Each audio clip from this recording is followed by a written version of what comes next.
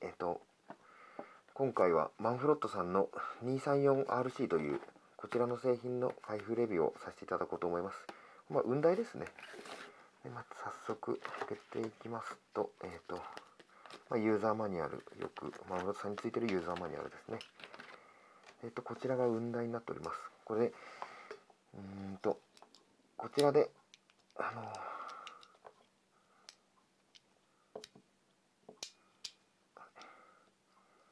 れない。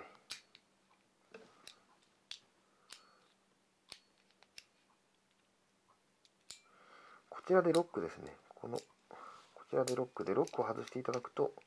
雲台が外れます。で、あの、この私の大好きな、これですね、あのカメラが飛べるときは、こちらで三脚穴にネジを締めていくという、これもう、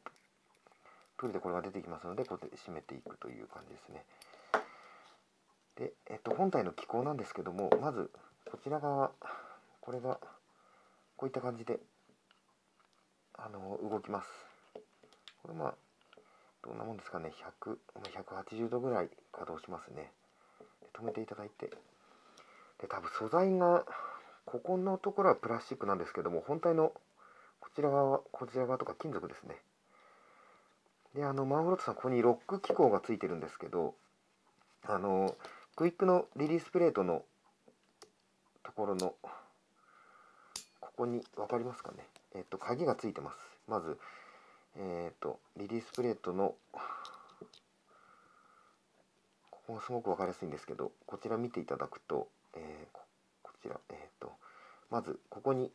今ロックが出た状態ですね。ロックが出た状態になっております。でここのここの金属の凹凸分かりますかね？でここをこうやって押していただくと今度あのリリースプレートのところのロックがかかるという仕組みになっておるわけでございます。で早速じゃあリリースプレートをつけていこうかと思います。はい、で、えっ、ー、と、この機構なんですけども、プレートをこちら側からはめ、こっち側とこっち側なんですけど、こうは入れられないんですよね。こういう感じには入りません。こちら側で入れていただくと入ります。で、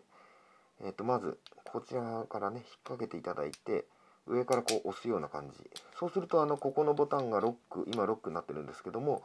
プレートこう下ろすとロックが外れてかかるというでえっ、ー、と本体側のクイックリリースプレートのところのロックなんですけどここのピンとこれを入れてあげるとここに見えますかねここに金色のやつが出てきてここをロックするというロックするという形になりますでこの金のロックを解除すると